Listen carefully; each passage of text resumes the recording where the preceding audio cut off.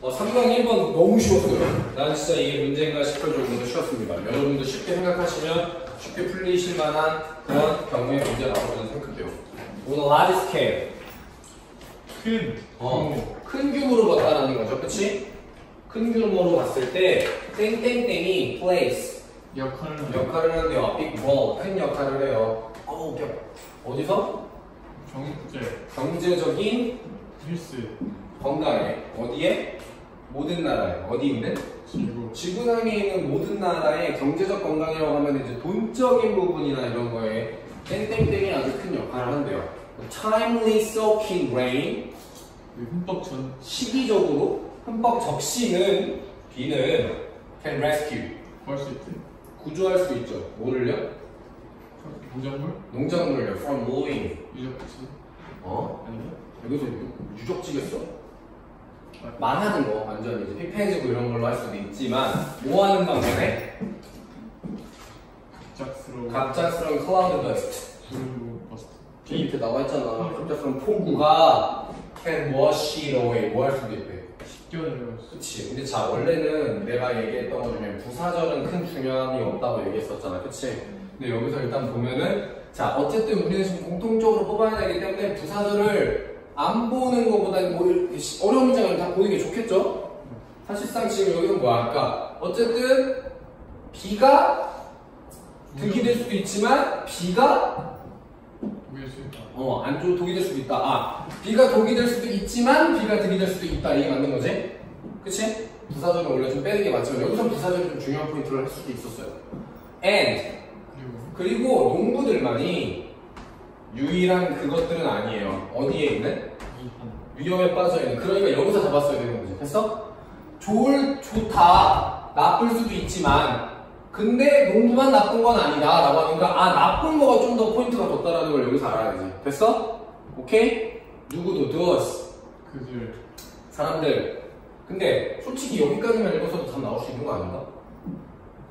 어쨌든 좋을 수도 있고 나쁠 수도 있는 것의 그 두 가지의 공통점은 뭡니까? 일단 B죠.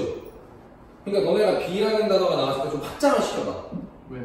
비에 대한 하면은 그러니까 뭐 물로 갈 수도 있고 날씨로 갈 수도 있고 이런 식이 되겠죠. 못해도 솔직히 얘들아 2, 4, 5번 정도는 좀 빼보지 않을까. 무조건이죠. 음. 그 다음 그 사람들인데 어떤 사람들이래? 이렇게 내가 감을 잡아가면은 뒤에서는 내가 생각한 게 맞는지 점검만 하면 된다니까요. on 의존하는 사람들인 거죠. 어디에? 잘 천연가스. 천연가스에 뭘 위해? 열. 열을 위해 천연가스에 의존하는 사람들도 종종 뭐 한대요? watch. 근데 보는데 어디 속에서? in dismay.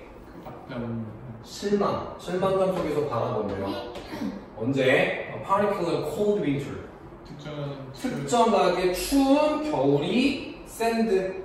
예. 보내요. 뭐를? 가격을 어디로? 가격을 어디로 보내야 돼? 스카이로. 하늘로 보내야 돼. 무슨 말인가? 가격이 오른다고. 자, 이 말 안에서 그런 포인트를 잡을 건 뭐야? 천연가스의 가격이 오른다. 천연가스의 가격이 오르는데 뭐 때문에? 그게 중요한 거죠. 자, 천연가스의 가격은 우리가 봤던 것 중에 경제적인 이제 건강의 부분인 건데 거기에 영향을 끼친 건 누구였던 거야? 왜 가격이 올랐는데? 천연가스 가격? 어, 추워서. 그래. 뭐 때문에 오른 거야? 날씨. 날씨 때문에 올랐다. 됐어? 농작물이라는 것도 결국에는 경제적 요인인 거죠. 오케이? 경제적 요인에 뭔가 표현을 준 건 B.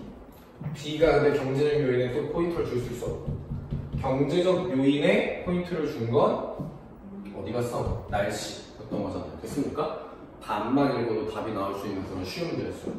그래서 hurricanes 또 뭐래? 네. hurricane도 can drive. 어, 그. 근데 drive away니까 뺏어가는 거죠? 이끌어서 빼나가는 거예요. 관광객들을 누구로부터? 경기장. 지역 아까 경 지역으로부터. 자, 근데 관광객 얘기 딱 나오는 순간 얘네가 돈이죠? 그치? 알수 있지? 근데 어떤 어떤 지역이네? 멸종은 의존하는 거죠. 일반적인 유입을요. 누구의 유입? 방문객. 어, 방문객의 유입. 뭘 위해? 생계를. 그들의 생계를 위해서. 대표적으로 우리한테는 가까운 일본이 그렇죠? 일본에 지진 나면 우리가 가 안 가? 맞아. 근데 일본에 지진 나면 여행에 왜 가? 그럼 기타 큐시나 이런 그런 외곽 지역은 한국인이 대부분 여행 많이 가는 거니까 매출이 뚝 떨어지겠죠. 자, 지금 시국이 이런 한국이잖아요. 재민이 게 뭔지 알아? 후쿠오카 가는 거 왕복 비행기 10만 원 한다. 진짜요? 아 순간 홀켰어. 제주도인가? 아, 가가지고 한인민박만 찾아가면 괜찮지 않을까?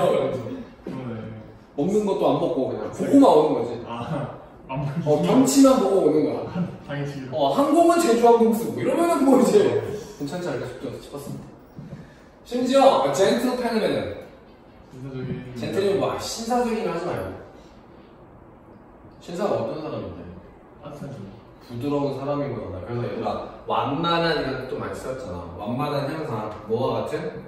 안개. 안개와 같은 완만한 형상. 그럼 여기 안개까지 왔으면 다 이제 된 거죠. 그치? 대용어구만 찾았으면 문제 해결됩니다. Can resulting 결과를 낼 수 있어요. 아 안개도 재앙이 될 수 있대요. 뭘 봐서? 뭐 여기 에즈저는 솔직히 이제 중요한 건 아니죠? 그치? 네. 캡틴이면 누구야? 선장. 어, 선장. 안드레아 도리아의 스톡홀름에서 배웠, 선장이 뭐 했대? 배웠대. 이거 배 이름이래요. 하나의 치명적인 7월 밤을 이때 배웠기 때문에 아 이때 무슨 일이 있었나 보지, 그치? And during the Dust Bowl 1936 1936년에 있었던 이 시기간 동안에도 근데 더스트는 뭐야 일단 여기 먼지. 먼지가 엄청 많았던 거죠. 이게 언제인데? 설명을 해주시네요. 가장 덥고 가장 말랐던 여름이래요.